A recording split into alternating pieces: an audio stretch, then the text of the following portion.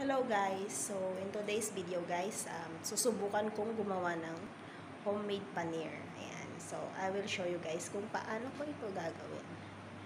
So, first, first step guys is uh, ibuboil ko muna yung milk.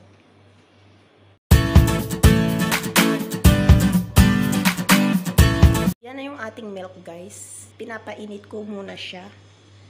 Ayan. Tapos, tsaka ko siya lalagyan nito guys, lemon.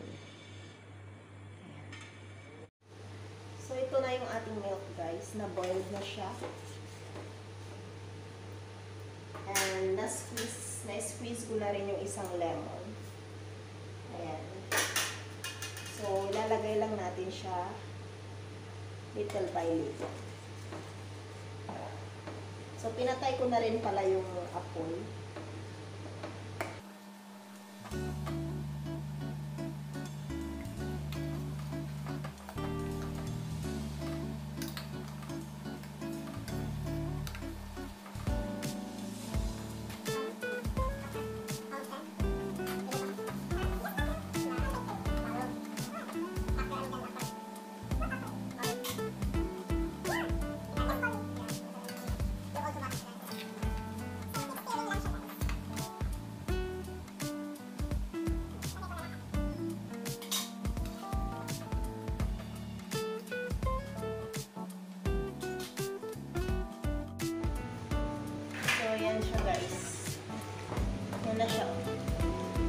iwas lang natin siya ng 2 minutes. Ayan. Hayaan natin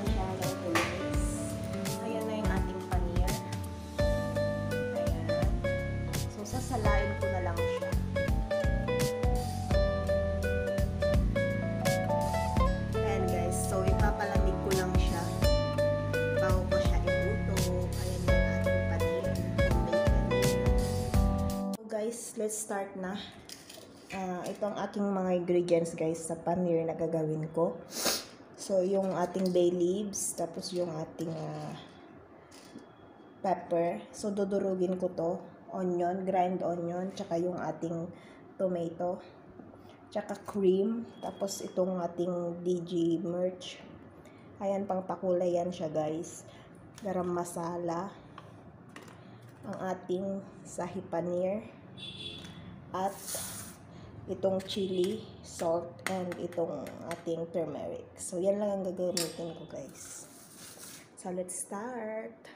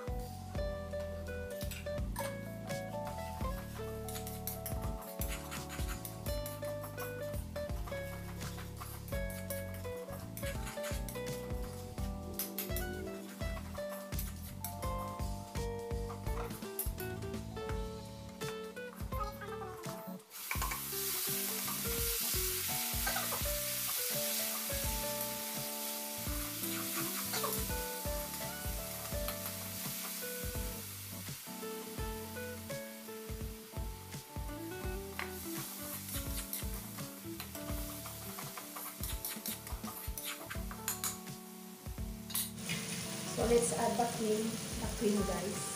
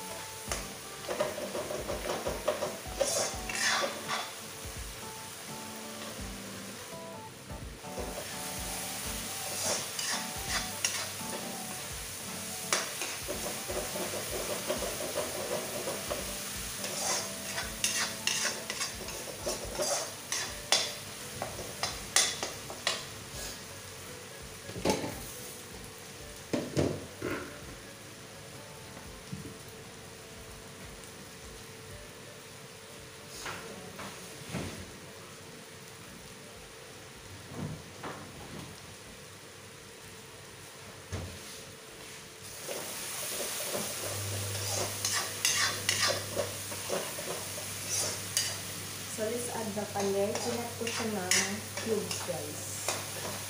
Add na natin.